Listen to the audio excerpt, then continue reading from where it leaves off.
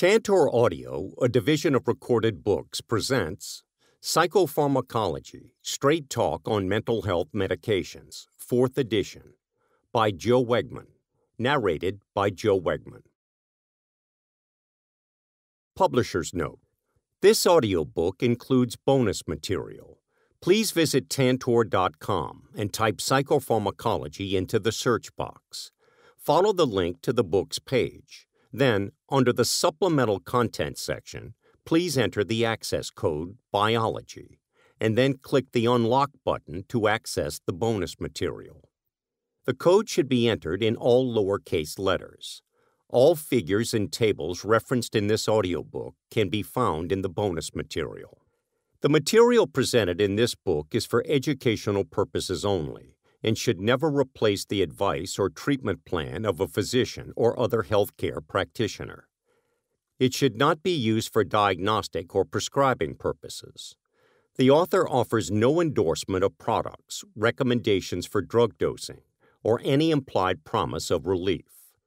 Case examples throughout the book are for illustrative purposes only and are not to be used as models for medication management of a particular disorder. Every attempt was made to present accurate information at the time of publication, but the subject of psychopharmacology is an ever expanding one. The author assumes no responsibility or liability for any action taken as a result of the information contained in this book. What's inside?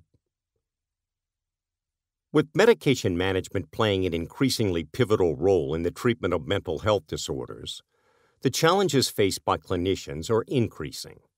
For one, non medical clinicians provide the majority of mental health services in the United States. For another, the majority of prescriptions and orders for psychotropic medications are written not by psychiatrists, but by family practice and primary care physicians. As a result, you may be working with patients who are neither in a program of monitored drug use nor being treated with a combination of medication and psychotherapy. Under these conditions, it is essential for all healthcare professionals, particularly those providing mental health services, to have a working knowledge of psychotropic medications. Ideally, medication prescribers and non prescribers alike will work together to implement treatment strategies and improve clinical outcomes. This book follows a straightforward, user friendly format. It provides a summary of the disorders routinely encountered psychosis, depression, bipolar, anxiety, insomnia, ADHD, opioid disorders, marijuana use, and chronic pain, followed by a discussion of the medication management of these disorders.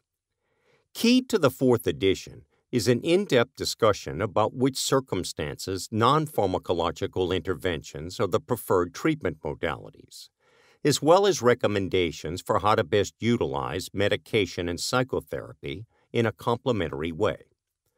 Pharmacotherapy in special population groups, specifically children and adolescents, pregnant women, and geriatric patients, are examined. With many people self medicating with herbal remedies, dietary supplements, and vitamins, this book also outlines the herbal treatments that have proven beneficial in treatment and those that pose potentially harmful interactions with prescription drugs. The goal of this book is to guide you in practical and clinically relevant language through the maze of mental health medications then help you identify ways to use your expanded knowledge to improve client outcomes. Throughout the text, the terms patient and client will be used interchangeably per the context of the discussion, but essentially mean the same thing. New to the fourth edition The importance of developing client rapport, a more detailed look at depression and its origins, antidepressant strategies for the first timer, behavioral activation therapy, the importance of getting clients moving, suicide and its rising prevalence, the emergence of ketamine for depression, antidepressant discontinuation, mindfulness, Spravato, the first really new and original antidepressant in more than 30 years. Key questions to ask when assessing for bipolar disorder. Lithium, Still the best after all these years. Anxiety treatment. What should not be medicated? Benzodiazepines, still viable after 60 years. Much expanded section on insomnia, opiates, opioids, and the crisis surrounding them. Chronic pain management. Update on the etiology of schizophrenia. Adult ADHD and assessing it correctly. New medications for ADHD. Updates on herbal and other alternative treatments. Talking to clients about psychotropic medication side effects, telehealth treatment, Psychopharmacology, Straight Talk on Mental Health Medications, 4th edition, is a desk reference suitable for healthcare professionals and for anyone interested in expanding their knowledge of how to best manage mental health disorders, both pharmacologically and behaviorally. Joe Wegmann, New Orleans, Louisiana. Section 1 Getting Started with the Client. Chapter 1 The DSM Medical Model Neurobiology.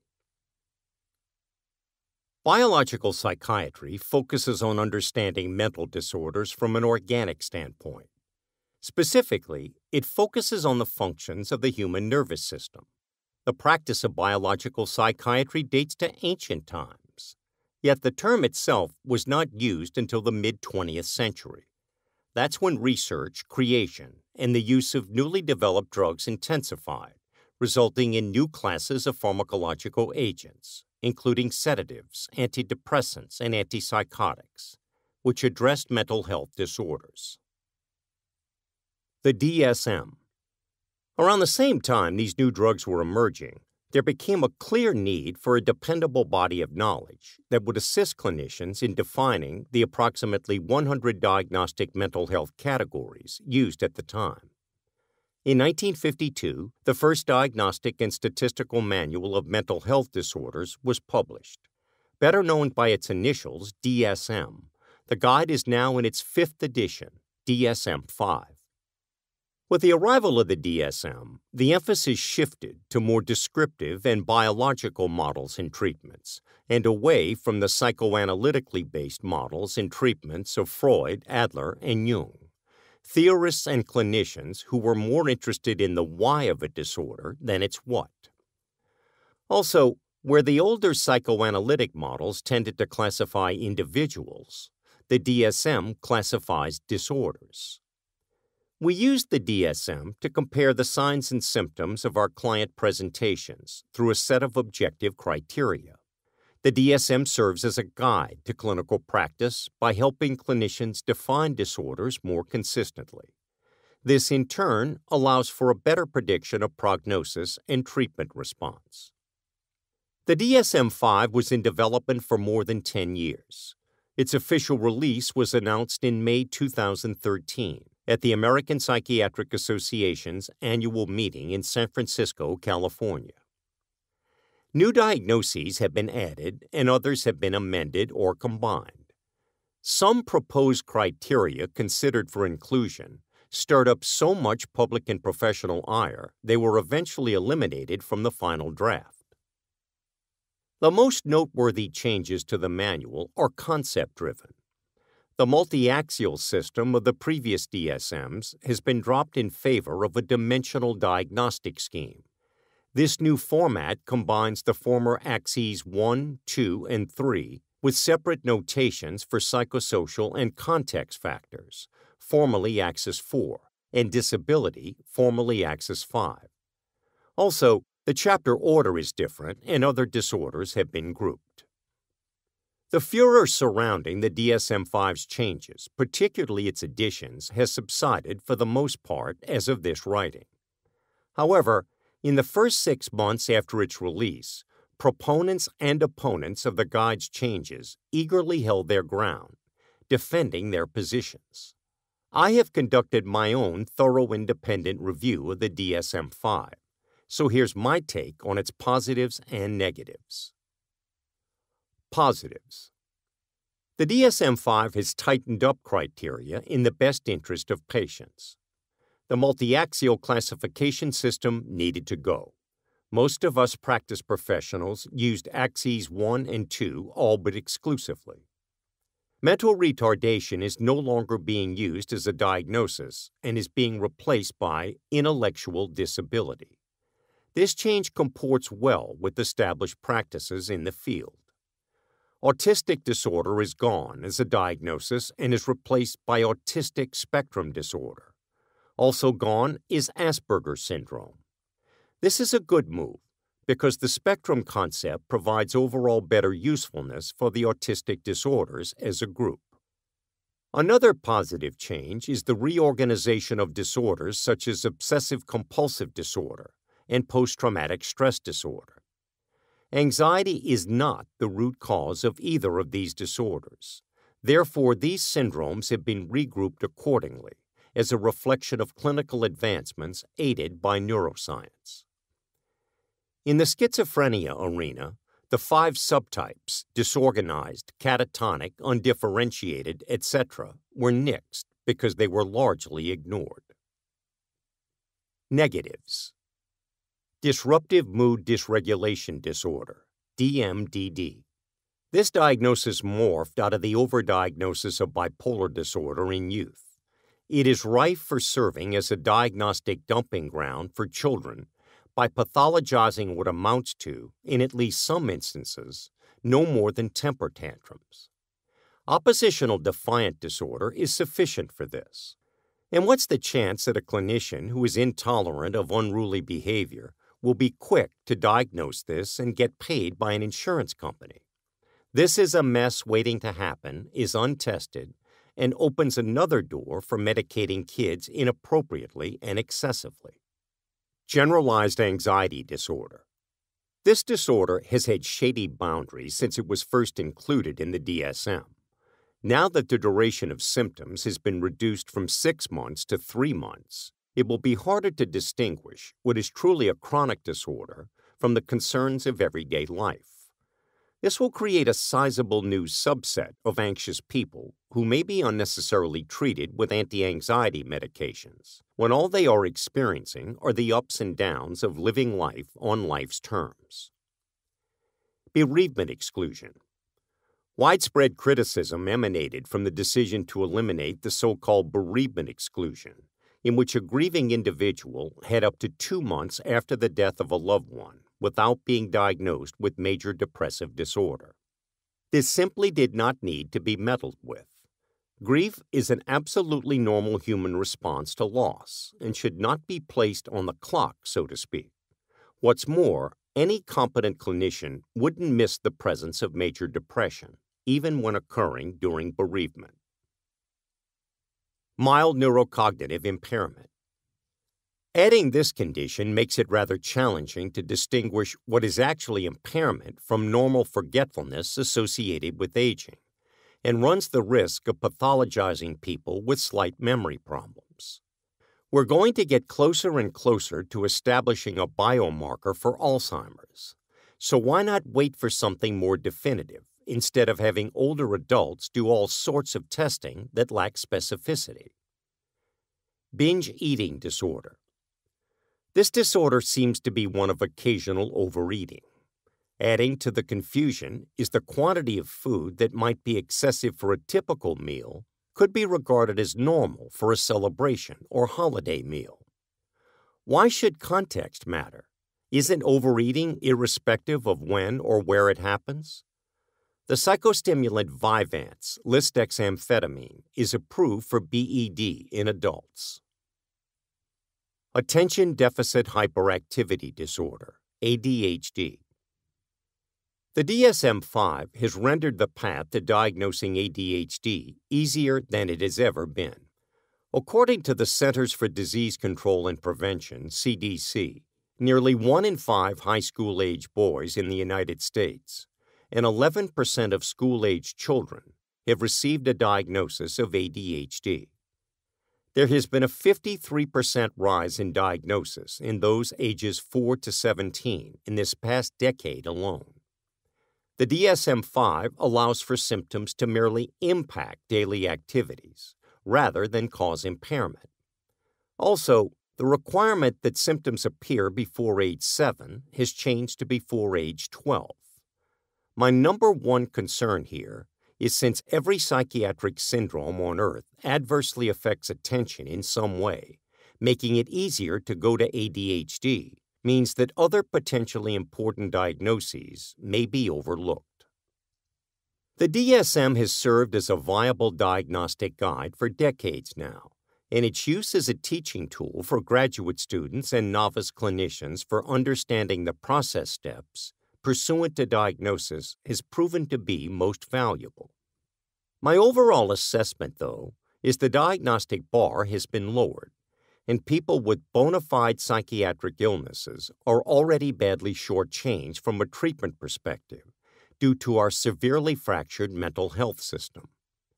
The DSM 5 will make this worse by directing scarce resources away from the very ill and toward people mislabeled as mentally ill instead. Medical Model Since the age of Hippocrates, Medication has been used to manage both physical and mental health pathologies. The primary goal of the medical model is to identify these pathologies and then attempt to fix them. This is as true today as it was 2,500 years ago. Over time, three goals of pharmacotherapy have emerged. One, to treat an acute disorder. Two, to prevent relapse after clinical improvement. And three, to prevent future episodes of the disorder. More simply described, these are the acute, continuation, and maintenance goals of medication management. Acute treatment is initiated to ameliorate the symptoms of an actively occurring disorder. During this phase, the primary goal is to stabilize the patient using medication. Acute treatment begins with the initial prescribing of medication and generally lasts for a period of up to six months of prescribed use, according to the National Institute of Mental Health, NIMH. Continuation treatment is utilized to prevent relapse after the initial improvement. Here, the goal is to minimize the possibility of patient decompensation after stabilization. This period of medication use extends from six months to one year, as defined by the NIMH.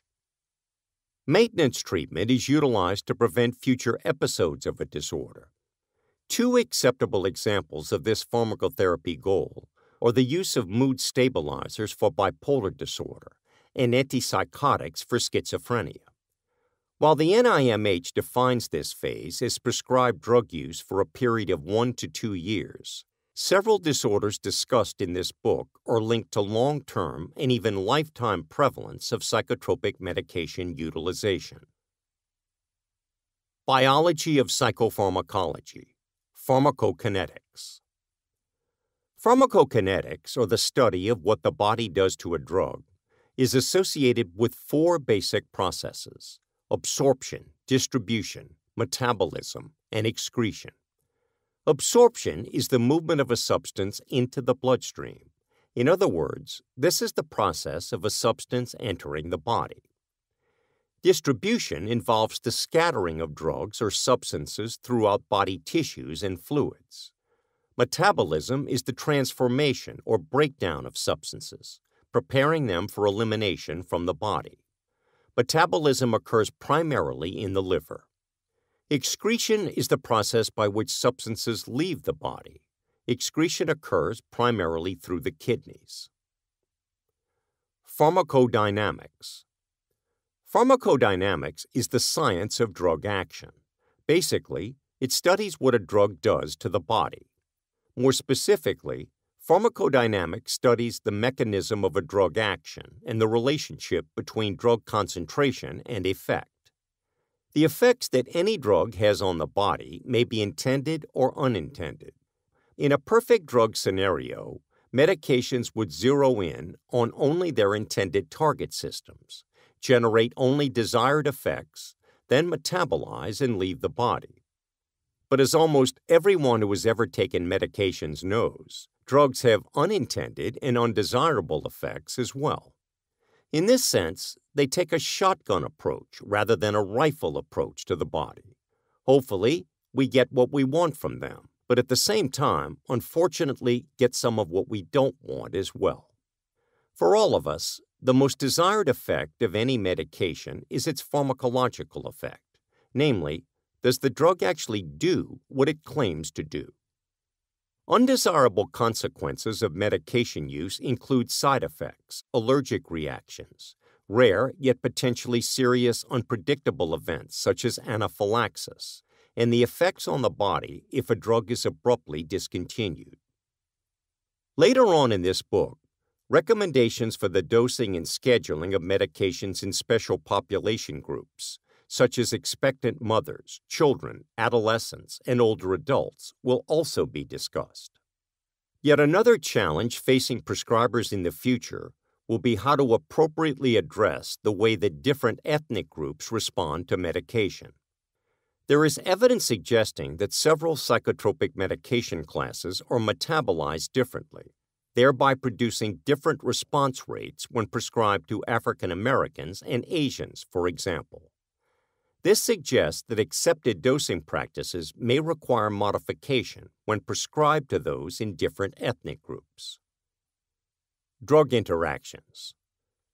A detailed discussion of the various types of pharmacokinetic and pharmacodynamic interactions is beyond the intent of this book, but it's beneficial to have a working knowledge of what happens when drugs enter the system.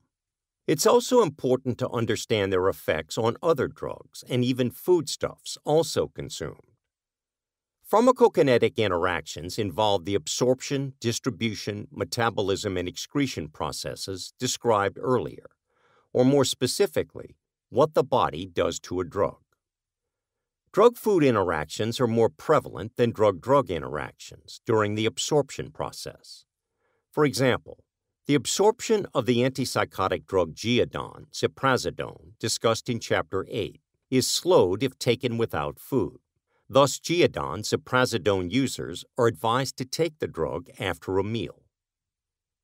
An example of a distribution process interaction would be taking Depakote, divalproex, discussed in Chapter 12, and aspirin together. In this instance, aspirin displaces a portion of the Depakote divalproex from its protein binding, causing the unbound Depakote divalproex portion to increase resulting in increased Depakote divalproex levels. During the metabolism process, drugs are broken down by enzymes in a number of different ways to facilitate their elimination from the body via either the urine or feces. An excretion process example would be the use of lithium together with caffeinated beverages or energy drinks. Caffeinated coffee or tea accelerate kidney function and can lead to decreased lithium levels. Pharmacodynamic interactions involve the effect that drugs have on the body when taken together. An example would be the use of a benzodiazepine drug such as Valium, diazepam, taken together with an antihistamine drug such as Benadryl, diphenhydramine. Each of these taken separately can cause drowsiness but when taken concomitantly, the user can become markedly drowsy. Both drugs are discussed in Chapter 13. Interactions happen because of misinformation, misuse, or in instances where little or no guidance is provided at all. Interactions among drugs, foods, or medicinal plants and herbs run the gamut from benign to potentially fatal. Fortunately, very few are lethal and many drug drug interactions can be managed via dosage titration upward or downward. The major risk factors are toxicity when drug actions are synergistic, and a lack of therapeutic efficacy when actions are antagonistic. And of course, there's the ever present risk of worsening side effects when drugs are combined. Psychotropic medication drug interactions worth noting. Antidepressants, antipsychotics, and some of the older anticonvulsants are linked to significant drug interactions. Be on alert if your patient is taking any of these drug classes. Be on alert for the drugs with narrow therapeutic indexes, namely when the toxic dose and the therapeutic dose are in close proximity to one another. Examples include lithium, Tegretol, carbamazepine, as well as medications often used in physical medicine, such as the blood thinner warfarin, the cardioactive drug digoxin, and the anticonvulsant dilantin, phenytoin. Be aware that the risk of drug interactions increases as the number of medications the patient is taking increases. This can be of significant importance in elderly and pediatric populations.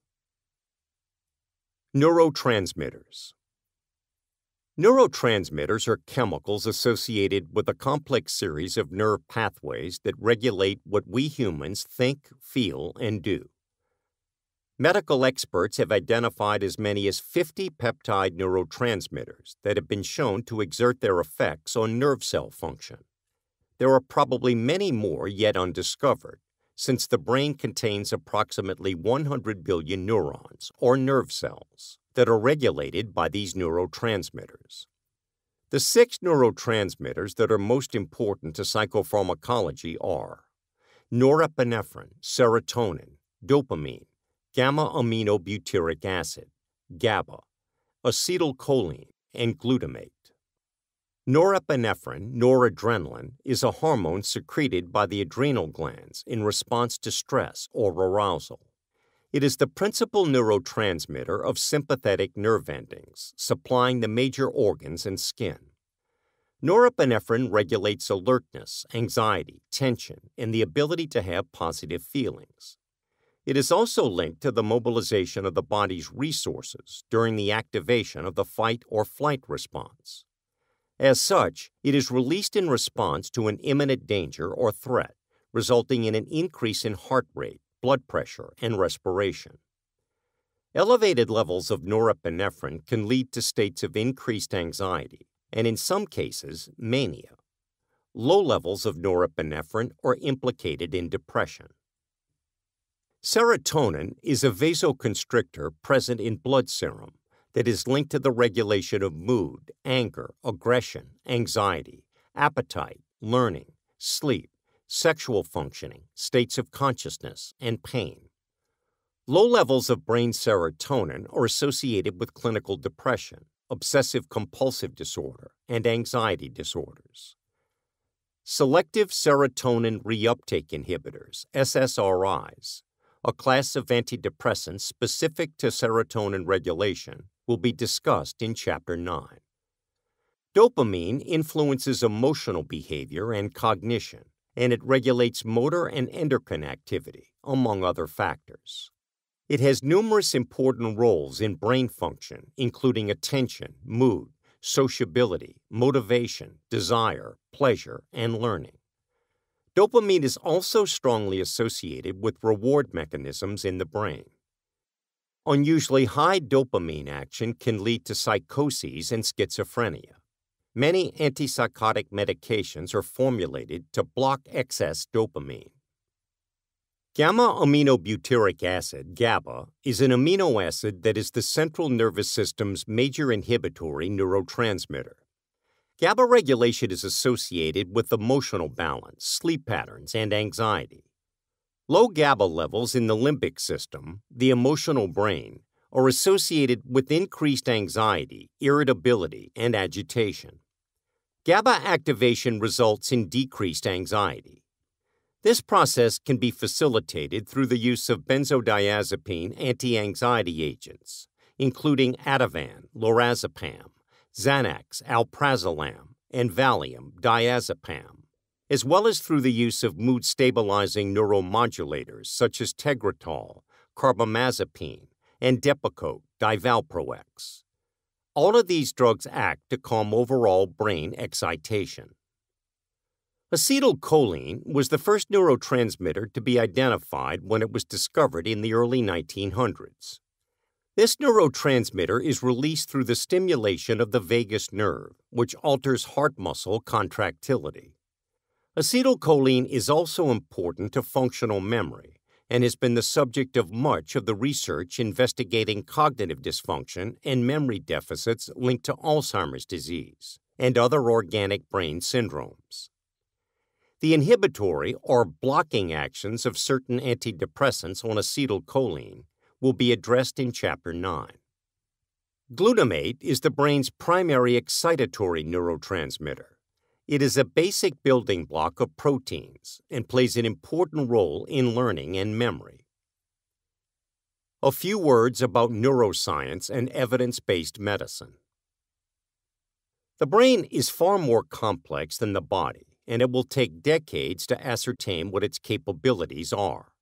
So, as fascinating as neuroscience and a gaze into the future can be to read about, it's impractical in the treatment room because we treat in the here and now. Neuroscientific development moves at a laboratory pace, which is very slow, and routinely falls prey to a lack of funding. It has been known to disappoint often, as the mysteries of brain functioning have defeated the DSMs and even the best NIMH efforts in search of valid and reliable biomarkers. Progress toward a clearer understanding of mental disorders will be painstaking. To use baseball references, there will be no grand slam home runs. There will be some singles, maybe the occasional double and triple, and lots of strikeouts. This phenomenon is true of all medicine, however. We're obviously still fighting the war on cancer and losing most of the battles, so it will be even more challenging to figure out schizophrenia. Research studies. Beware of the words studies show or clinical evidence indicates. Evidence based medicine is only valuable if what is presented is done so in a thorough, encompassing way. Many of the studies about what is trending in the psychopharmacology field aren't worth the paper they are written on or the cyberspace through which they have been transmitted. Take the FDA approval process, for example. All that a potential new drug candidate must do to pass FDA muster is outperform placebo. The fact is, many of these drugs are weakly beating placebo. We're supposed to be excited about that? What's most important is how well a possible newcomer stacks up against the existing competition. That is, you want to know how it ranks head to head compared to other established agents within the genre.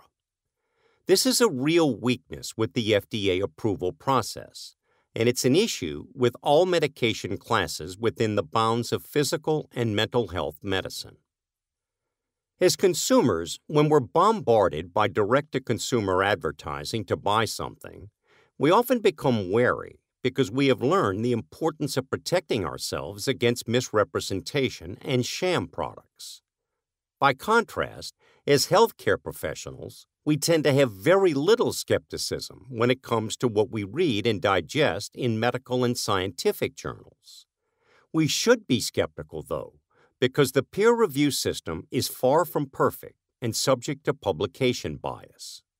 Also, some studies that seem well written and documented aren't necessarily credible due to various limitations. Chapter 2 The First Visits with the Client the nuts and bolts of assessment and diagnosis. The skilled mental health diagnostician is not seeking perfection, as there is no such thing. Instead, this clinician is seeking diagnostic assuredness. Success is the goal and is defined in terms of whether the client's position or condition, if you'd rather, has improved as a result of the professional encounter. Nothing else really matters. Diagnosing mental health conditions is more art than science. The diagnosis of general medical conditions is not without an art component. But physical medicine has a major advantage over mental health medicine the ability to objectify findings. There is an obvious, self evident advantage to be able to confirm findings by way of blood work, scans, and pictures, as in x rays. In mental health, there is not one single blood test or reliable scan to aid in diagnostic confirmation. It's just the way it is for now, and I suspect for a long time to come. The diagnostic journey begins with a thorough assessment of the presenting client situation. The DSM stays on the sidelines, serving only as confirmation and as a reference for coding purposes. Savvy practitioners rely on the art of the question that is not to say they don't bring an excellent command of the signs and symptoms of the mental disorder spectrum to the process. they do. The essence of their skill, however, lies in the ability to frame a series of insightful, intuitive questions around the client's presenting problem. Adroitly, assertively, and yet tactfully, they approach assessment with precision and are aware that success with any client means this. The language controls the discussion, the discussion controls the relationship, and the relationship controls the quality of the outcomes. As such, the highest premium is placed on rapport building. Observation is also important. The nuances of client head movements, facial expressions, and overall body language are every bit as important as the changes in their vocal delivery. What clinicians see in a client is every bit as important to them as what they hear. Diagnosis, then, isn't all that complicated when the clinician is asking the right questions, observing appropriately, and listening intently. Systematically, the clinician shapes the client's responses and nonverbal behavior, gathered through questioning and aided by insight and intuition, into a diagnosis. The clinician also seeks out collateral sources of information which are supportive of the client's efforts to get better. There is no better way to confirm findings, so they explain to the client that a signed consent form permitting outside input is in the best interest of their work together. Then, if the client refuses, that's considered a red flag. Collateral sources are important to the assessment and diagnostic process because lying, minimizing, rationalizing, denying, and omitting are common to some clients to varying extents. All of the aforementioned is pursuant to advancing to the next step developing a customized individualized treatment plan with established behavioral objectives that can be measured in terms of progress. It's important to be prescriptive and not solely diagnostic by telling clients what will help them. Don't strive to merely achieve consensus with the client. Be the thought leader in the room. Pros are expected to guide clients toward unburdening themselves as part of assessment, diagnostic, and treatment protocols. The heavier lifting, though, the change process, is the client's domain. There are numerous variables that impinge upon client symptoms, the most important of which is whether the client is ready to get better. The most renowned clinician on the planet won't make a difference in the uncommitted individual whereas the clinician with a poor skill set will likely be able to help a highly motivated person at least somewhat. The skilled clinician approaches each session with a confident presence, secure in their abilities, and fully present in what is unfolding during the therapeutic encounter.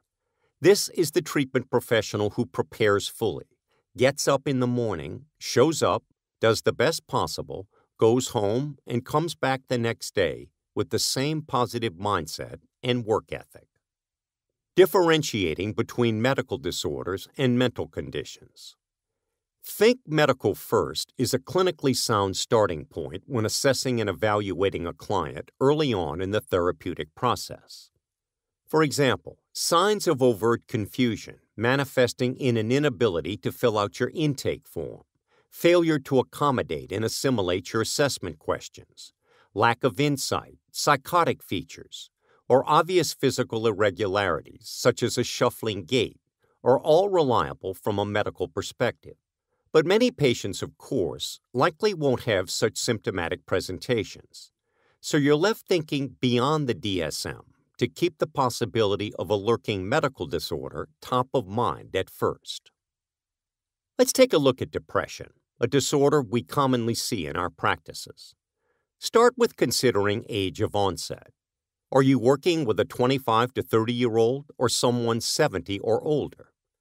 What about family history of mental illness, specifically depression? Although there are always exceptions, if you're working with a 25 to 30 year old reporting a first episode depression, accompanied by physical symptoms such as sleep irregularity, weight fluctuation, or GI symptoms, it would be realistic to conclude that these symptoms are associated with biological changes that often accompany true clinical depression. On the other hand, if your patient is age 70 or older without a family history of depression, and it's a first episode, you may want to consider investigating the possibility of specific sleep disorders, like sleep apnea or restless legs, underlying malignancies, arthritis, or endocrine disorders such as diabetes or hypothyroidism. In either age group, carefully inquire about the severity of symptoms. As for thyroid disorders, which are often linked to depression regardless of age, ask about any changes in feeling, especially hot or cold, weight gain or loss, constipation, drying or coarsening of skin or hair, nail cracking, and fatigue. Hypothyroidism is classically linked to depression, but in older subjects especially, hyperthyroidism can also be indicative of depression. As for anxiety symptoms or disorders, pheochromocytoma, a rare type of tumor of the adrenal glands that can release high levels of epinephrine or norepinephrine, may mimic panic type symptoms or accelerated feelings of anxiety. More commonly, though, anxiety episodes can be associated with partial seizure disorders, so always inquire about seizure history. And then there's continuity of care. When working with a patient where possible medical conditions may be an issue, it's always important to emphasize that the individual should discuss these matters with a primary care physician or other specialist. There will be times when you feel the complexity or severity of the concerns may not be something the patient can adequately convey. In those cases, picking up the phone and having a one on one conversation with their primary care provider ensuring they are aware of what may be going on is always best. Developing client rapport. Improving your client's presenting condition, again, the only thing that counts, will not result from how much you know or may think you know. It does not matter how many workshops you've attended, how many letters you string behind your name, or how many certifications you've earned. What matters most is your ability and capacity to develop rapport. The only way to do this is to be fully present when in the company of the client and to listen closely. The goal is to draw the client in, get them attracted to your maturity, professionalism, enthusiasm, and the ease of doing business with you. It's not about having all the answers. It's about asking the questions that aid you in assembling the puzzle pieces of the client's situation that are so often vexing. If you ask lousy questions, no matter the response, they won't be useful for reaching the contractual goals you have established with the client system. In most instances, getting to the point of your work together for that day, whether during the first or the 20th session, is best accomplished by taking a few minutes to chat about something both you and the client enjoy or have in common. This eases the transition to the more serious work yet to come. Also, match your communication style as best you can to the clients. Mimic their speaking rhythm, mannerisms, and determine how they learn best. Are they more auditory, visual, or kinesthetic? A touchier issue, difficult for many, is keeping one's mouth shut. You must let the client speak without interruption. Enthusiasm is a core asset, but if unbridled, it can lead to you talking more than the client, a veritable recipe for a poor outcome, because you won't learn anything by talking. Other ways and techniques for developing rapport include dressing professionally, displaying symbols of comfort in your office, discreetly taking notes during sessions, leaning slightly forward when addressing the client is a gesture of interest, continually soliciting the client's beliefs and input when selecting treatment interventions. Skillfully engaging a client and getting them out of the doom and gloom loop and into the success loop is not contingent upon telling them everything you know. It's about telling them what they need to know, pulling them in, and getting them to trust that you are the go to professional for improving their plight. There are innumerable methodologies, technologies, and treatment plans through which effective treatment can be delivered. The key is to have the client perceive these as user friendly and specific to their situation, not convoluted and complicated. Sounding smart and intelligent is most certainly a plus when delivering services but doesn't necessarily translate into value for the client. Focusing primarily on having a conversation with the client and simply letting them tell their story in each session makes it easier for the client to relate to you and be relaxed in your presence. This will place you in a better position to focus on objectives and outcomes by serving as the client's navigational system, their GPS, so to speak. Then, with a collective eye on what you and the client have established, help them determine the shortest route possible to getting there. The most powerful impact you will have on your client's recovery lies in your ability to foster and sustain hope, to heal the wounds of mental illness. Devote attention to focusing and nurturing client strengths and building resilience, and never ever view the client as damaged. People come to treatment for all sorts of reasons. Some are simply stuck and need a nudge. Others may be looking for validation and a sounding board. Still others are acutely ill. Deliver value to them accordingly and be vigilant about providing outstanding customer service by bringing honest, believable energy and enthusiasm to your work. Some clients will need cheerleading and a bit of salesmanship to get them moving. Don't be passive when discussing strategies which you believe can help them, but be careful you don't cross the line into coercion. Regardless of how you attempt to help people, Compliance with what you are offering is paramount. If the client becomes resistant, find out why as best you can and get them back on track. Lastly, if you dwell on all the clients you don't help, don't try to help themselves or just drop out of treatment suddenly. You will do a lot of dwelling over a career. These are burnout traps that can derail your career to the extent that you may not be able to recover. Place personal and professional self care at the head of your priority list to best ensure as many people as possible can continue to benefit from your expertise. Performing at your peak. What influences peak performance as a mental health clinician, and which treatment is linked to client retention and engagement, yielding consistently effective care? Before delving into this question, it's worth clarifying the type or form of therapy utilized has no bearing on treatment outcomes at all. It does not matter whether the model employed is traditional cognitive behavioral, dialectical, mindfulness, or whatever else could be tossed into the mix.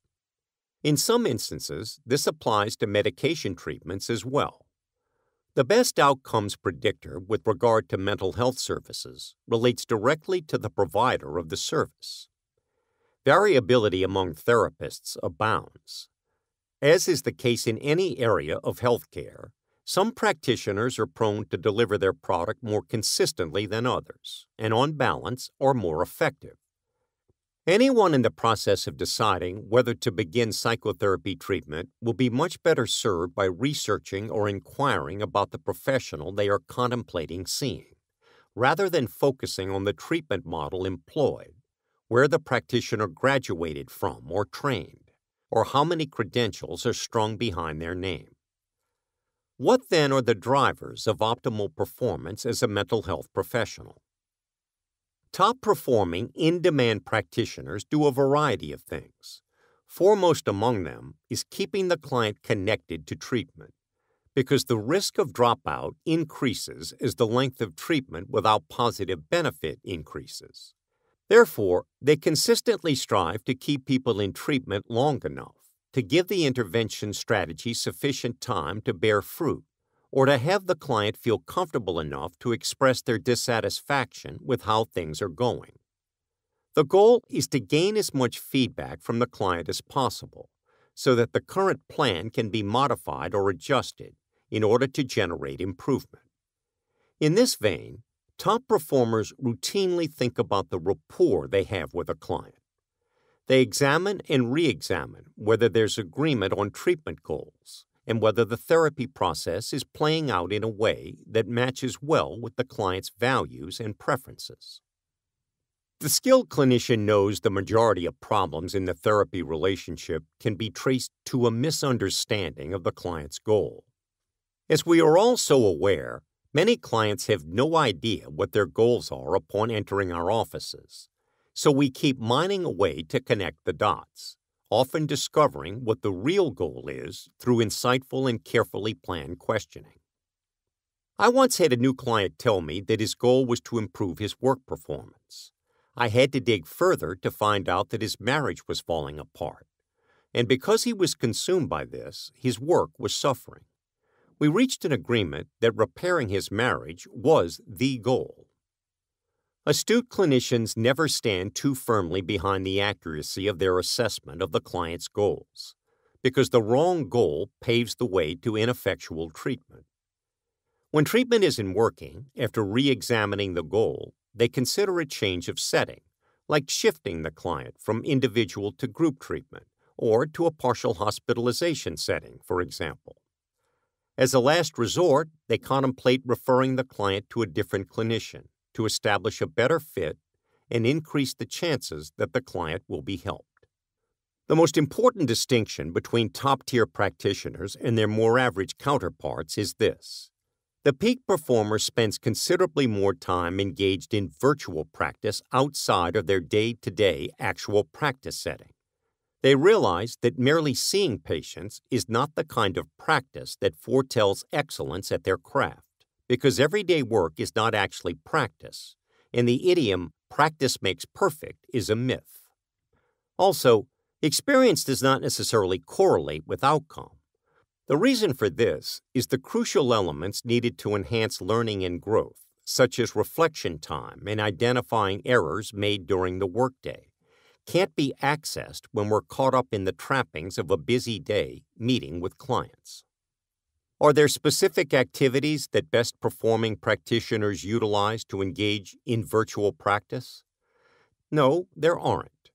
What they do is carefully choose the learning experience, book, seminar, podcast, etc., that they believe will best help them improve their performance.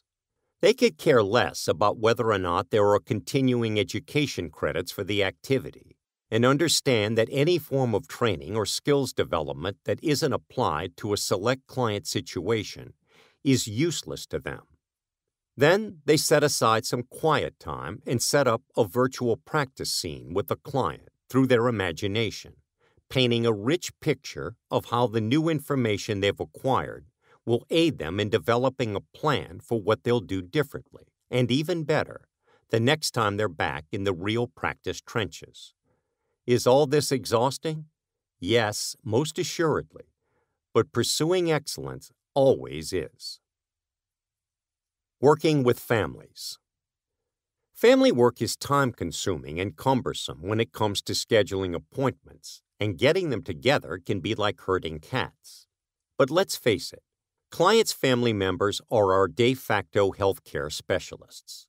They have witnessed the problems and unpredictability associated with the mental health struggles of their ill family member. So, in this sense, they're not merely uninvolved bystanders.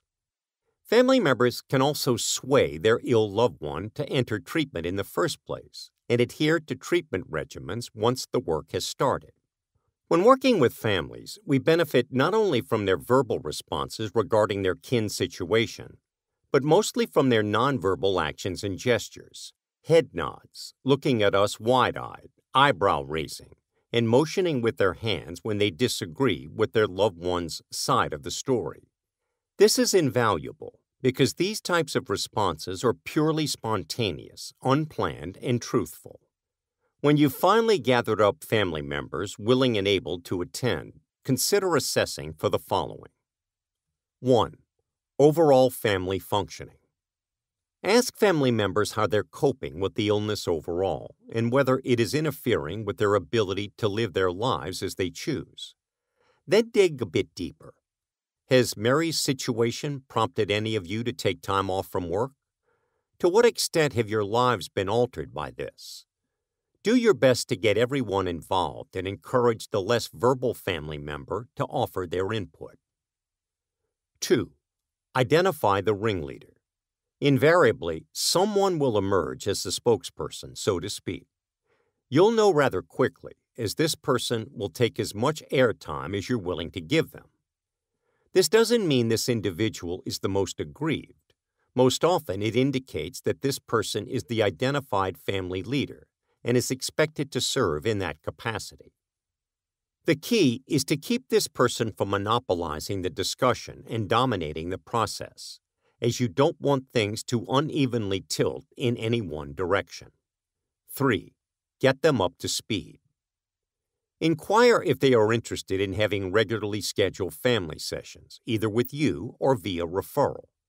Many family members come to a session with pent up feelings and emotions that have been eating away at them, affecting their ability and capacity to cope with the situation more rationally.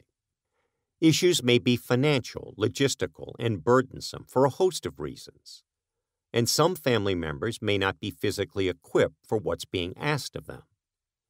After all, their lives have changed and are now full of new demands such as obtaining Mary's prescriptions from the pharmacy arranging for child care so as to be able to sit with her, and accompanying her to other appointments. Then there's the issue of being uninformed about the scope and severity of Mary's present plight, so offer specific reading material and online resources that you trust will adequately inform them. This can aid in challenging some of their faulty belief systems and engender more cooperation. 4. By all means, keep the meeting under control. Establish ground rules before any family member utters even the first word. Here's where you politely, yet assertively, take center stage, making it clear that excessive contentiousness serves no viable purpose and won't be tolerated. And if this is violated, the offender will be asked to leave the meeting room for a cooling off period. If arguments persist, call a halt to the proceedings with an invitation to resume when all agree they can respectfully have their say. Remember, too, that they'll have questions, as how they operate day to day is changing before their very eyes. Answer these as straightforwardly as possible, because achieving a successful outcome for the ill family member means you'll need all the allies you can get.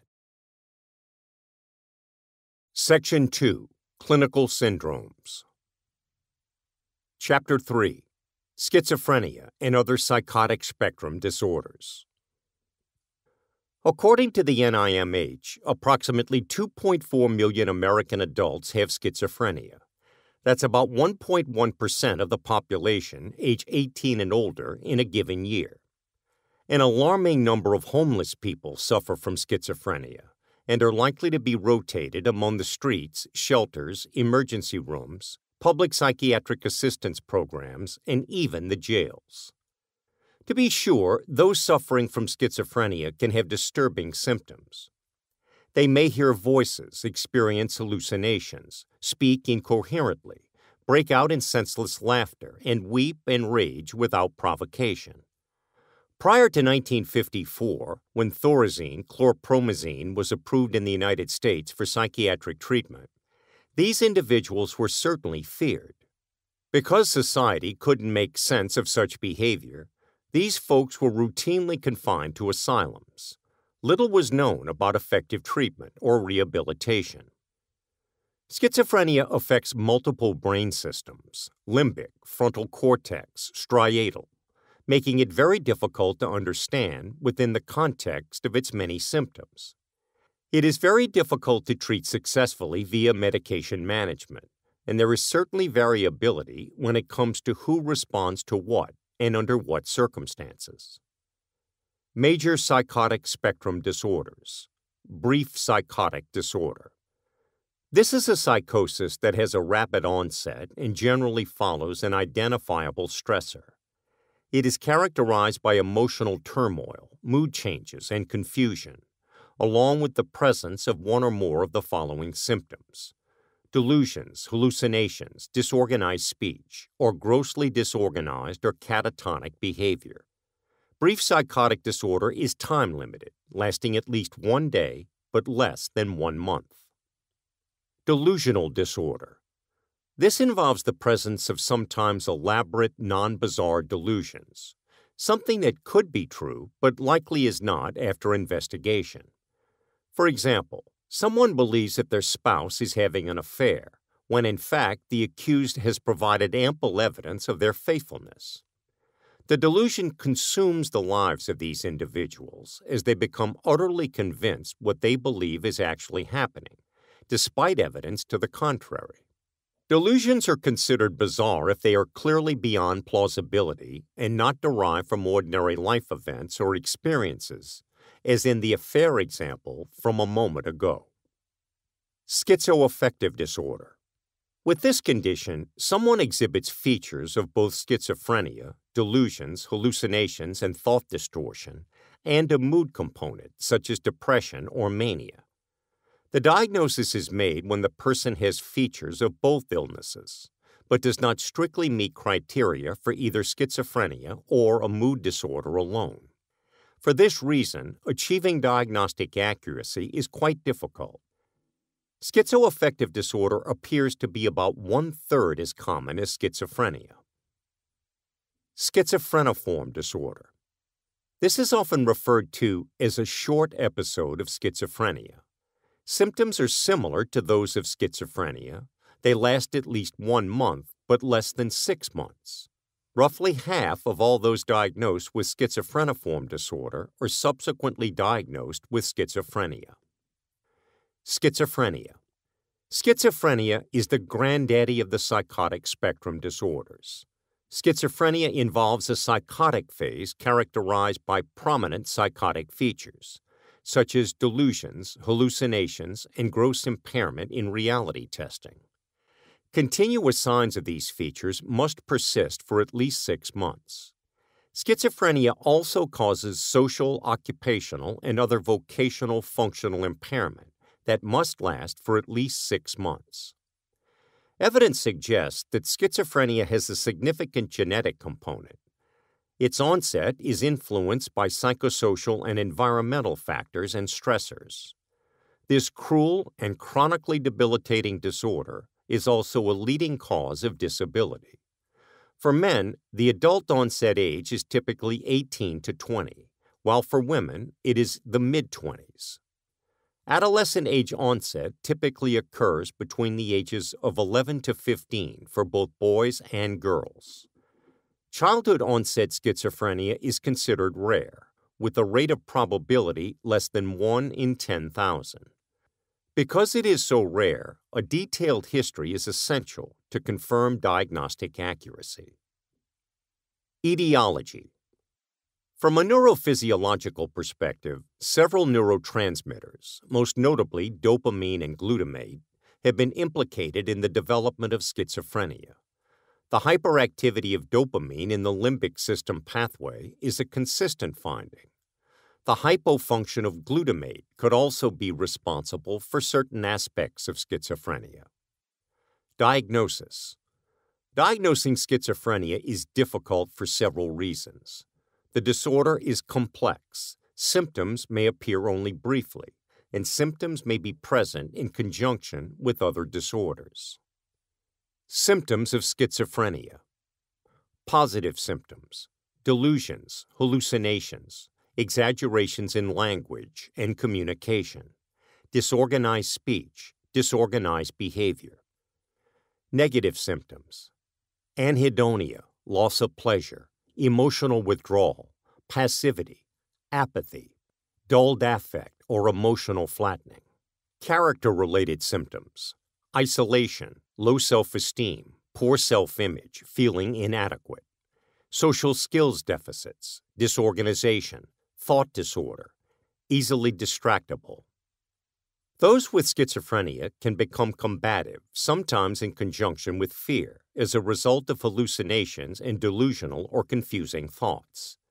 This aggression can manifest itself in both verbal and physical attacks, acting out sexually, self mutilation, and suicide attempts.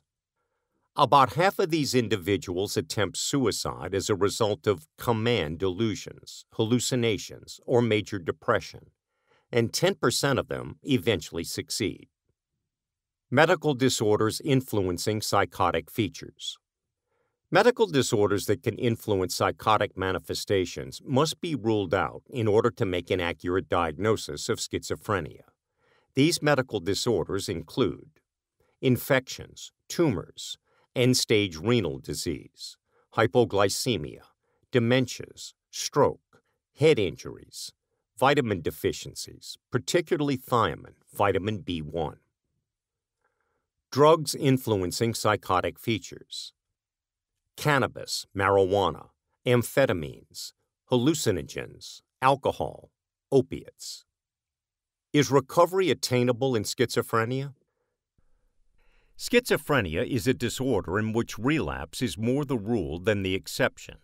Estimates indicate that in the absence of medication treatment, some 70% of those with a schizophrenia diagnosis will experience relapse episodes within a year. Also, being in a psychotic state is damaging to the brain, and the longer an individual has been in a psychotic state prior to treatment, the poorer the response, assuming treatment was pursued. Recovery, therefore, is a moving target, depending on how it's defined. Chapter 4 Depression A forlorn looking Charlie Brown is bewildered as he approaches Lucy's psychology stand seeking help. What can you do when you don't fit in? he asks. What can you do when life seems to be passing you by? Lucy walks Charlie out to a vast panorama on a hillside. See how big this world is? See how much room there is for everyone? Lucy continues. There are no other worlds for you to live in, right? No, Charlie replies. You were born to live in this world, right? Lucy asks again. Right, Charlie says. Well, live in it then, Lucy tells him. Five cents, please. Depression is a thief, robbing affected people of their capacity to place their talents and abilities on display. Just as with Charlie Brown, People living with depression shrink their world, often by building a protective cocoon, insulating themselves from the threats and fears that the bigger world is known to deliver. The more intimate the relationship with the depression and the greater the gains, the harder it is to give up.